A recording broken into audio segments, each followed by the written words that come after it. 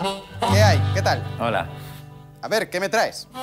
Varias cosas. Eh, te traigo esto. ¿Qué es? El aeropuerto de Huesca. Y esta es la escritura. Aeropuerto de Huesca. Tenía una previsión de 160.000 pasajeros al año. En 2013 pasaron 273 pasajeros. Últimamente estamos pasando una temporada de crisis en Oregón, así que he decidido venir a la casa de empeños para vender algunas cosas que ya no utilizamos. Bueno, en realidad no las hemos utilizado casi nunca. ¿Y de dónde has sacado este aeropuerto?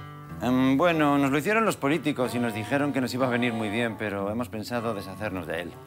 Ese tipo de aeropuertos se pusieron muy de moda en los años 90 y a partir del 2000 todo el mundo quería tener su propio aeropuerto. Incluso llegaron a inaugurar algunos sin tener aviones ni nada. Bien, ¿y qué quieres hacer con él? ¿Venderlo o empeñarlo? Habíamos pensado venderlo. Vale. ¿Cuánto pides por él?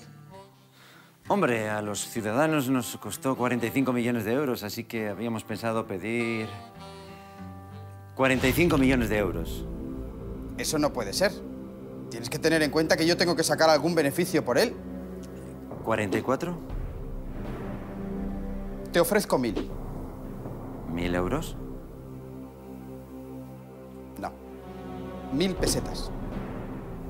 O sea, seis euros. Sí. Había pensado algo más. El aeropuerto es muy grande. ¿Qué tal siete euros? Mira, no quiero engañarte. Este tipo de aeropuertos ya nadie los quiere y aquí en la tienda me va a ocupar muchísimo sitio. Puedo ofrecerte seis euros y no sé si los voy a recuperar. Trato hecho, seis euros. Bien, vamos a hacer el papeleo. Eh, espera, tengo otra cosa que quizá te pueda interesar. ¿Qué es? Es un sistema de transporte en el que los vehículos van suspendidos en un cable que se utilizaba principalmente para salvar grandes distancias de altitud.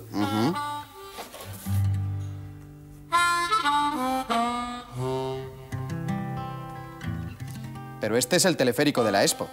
¿Sí? Teleférico de la Expo Zaragoza 2008. Une la nada con el vacío absoluto. Actualmente se encuentra en desuso y bamboleado por el cierzo. Cuando estaba en la Expo, el teleférico lo usábamos de cuando en cuando. Y una vez acabada la Expo, ya no lo utiliza ni el tato. Y también tenemos miedo de que se nos caiga encima. ¿Sabes por qué no lo desmontaron cuando terminó la Expo? No. ¿Y a quién se le ocurrió dejarlo ahí montado?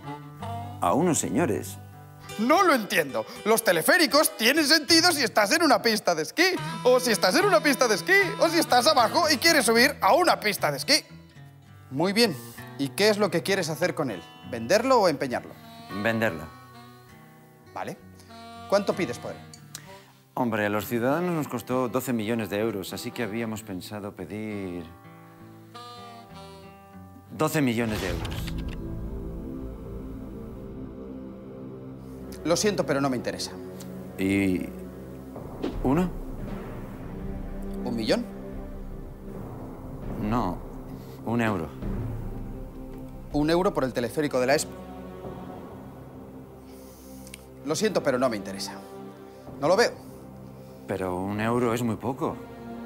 Sí. Pero no me interesa. ¿Y si te doy los seis euros que me diste por el aeropuerto? Está bien, trato hecho. Vamos a hacer el papeleo. Bueno, los oregoneses teníamos pensado sacar 57 millones de euros por las dos cosas y al final no hemos sacado nada. Pero bueno, estamos contentos. Por lo menos nos hemos deshecho de ellos. ¿Qué llevas ahí, Rick? Mira, papá, acabo de comprar el aeropuerto de Huesca y el teleférico de la Expo. ¡Maldita sea! ¡Otra vez! Todavía tenemos en el almacén el pabellón de España de la Expo, las luces de la plaza del Torico de Teruel, el Eurobús y no sé cuántas cosas más. Pero, papá... Ni pero ni nada. Vas a estar limpiando todos esos trastos hasta que le saques alguna utilidad. Pero eso no va a pasar nunca. Así aprenderás.